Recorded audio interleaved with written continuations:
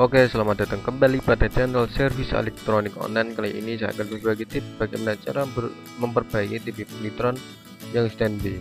Nyala sebentar kemudian mati. Lihat merah, biru, kembali ke merah. Oke, yang belum subscribe ya, silahkan subscribe dulu. Gratis karena subscribe itu gratis. Oke, sekarang kita lanjutkan untuk membongkarnya.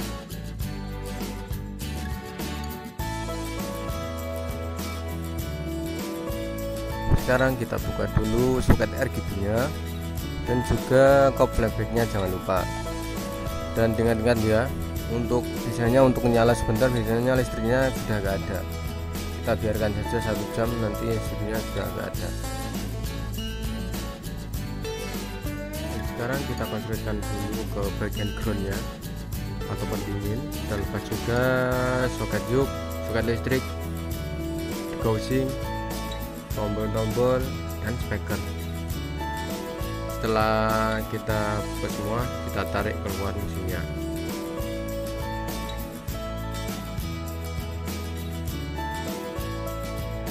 Menurut perkiraan dan pengalaman saya biasanya kerusakan seperti ini kerusakannya adalah es vertikal. Lihat lihat. Kakinya ada tujuh.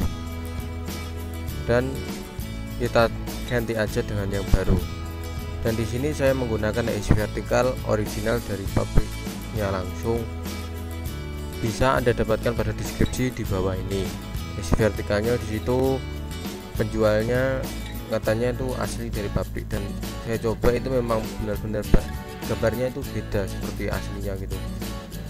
Oke sekarang langsung saja kita bongkar dan siapkan soldernya Oh ya sebelum kita lepas dulu isi vertikalnya kita pastikan dulu komponen-komponen mendukung seperti resistor, dioda, elko-elko pada rangkaian vertikal itu masih normal atau masih bisa digunakan. Dalam artian gak rusak ya. Sekarang kita tes dulu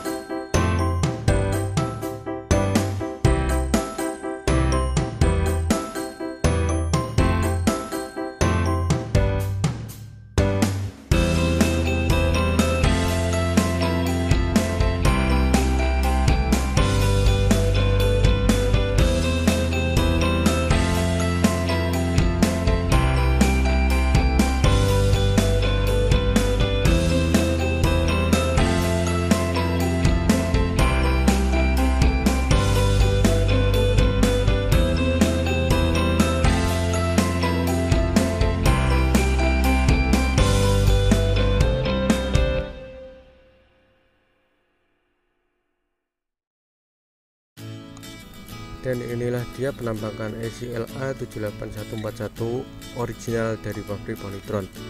Dapat kita lihat di sini. Ya kita fokus dulu. Ya LA 78141 yang membedakan di sini ya ini lihat nih dari samping ini ada kemas-masan nih. Kalau yang biasa kayaknya enggak kemas-masan gitu sebelah lubang. Sekarang langsung saja kita pasang SC vertikalnya ke tempatnya sebelah kiri saya ini es vertikal yang lama. Kita buang aja. Sekarang kita pasang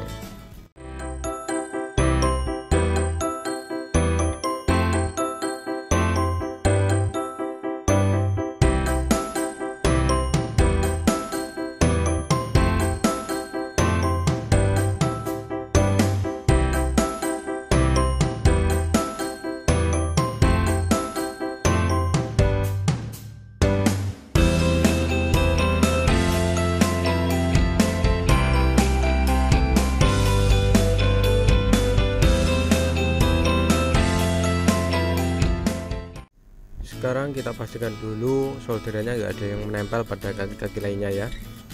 Karena jika ada yang menempel nanti isi vertikalnya meletus atau pecah. Biasanya begitu.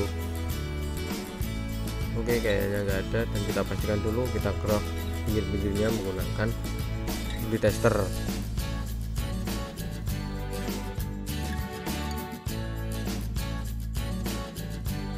Ya dapat kita lihat kembali. Fokus. Ya nah, dan itu ya sudah gak ada yang menempel. Sekarang kita lanjut pasang kembali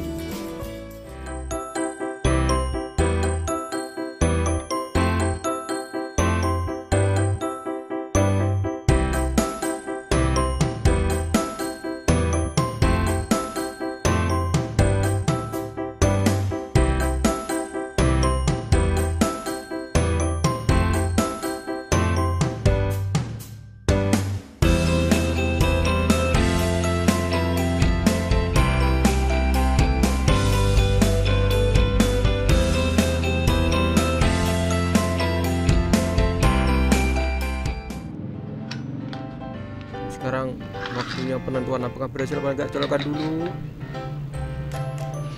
Kita coba ya waktu mendebarkan dimulai bisa apa enggak?